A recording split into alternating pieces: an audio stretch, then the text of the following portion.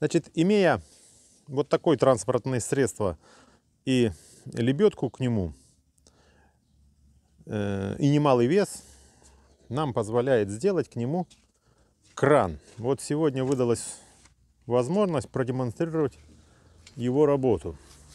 Значит, сначала мы привязываем стрелу, потом цепляем э, трос самой лебедки через э, блочок. Он может быть, естественно, любой. Вот так. И попробую сам это поднять. И поднимая вот это вот зацепилась. Сейчас, секундочку. Вот так сделаем. И самое сложное в этом это поднять. Так, с первого раза не получилось. Возьмем ниже.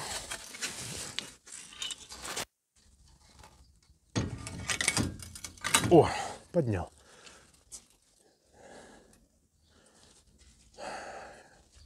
Вот так вот стоит стрела. Пошли сзади зайдем.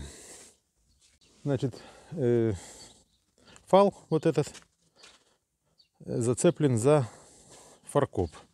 Вот эта трещотка позволяет регулировать натяжение, э, не натяжение, а угол э, стрелы. Значит, вот так, если натягивать наш фал, то стрела поднимается.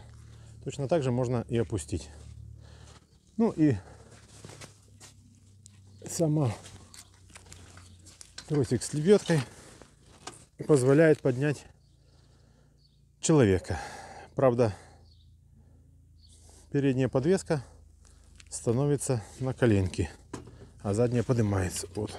Но после того, как она стала на подушке, он уже никуда не опуститься не может, но правда становится очень тяжело управляемым, так как нагружена передняя э, передняя ось. Ну, собственно, едем грузить тую.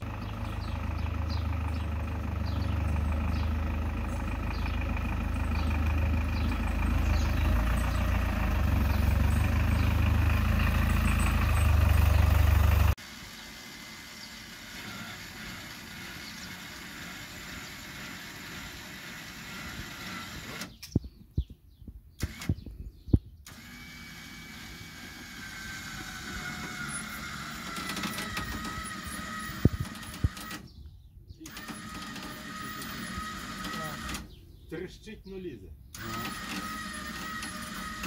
Всё, можно ехать, зачем вы Все, сохраняете?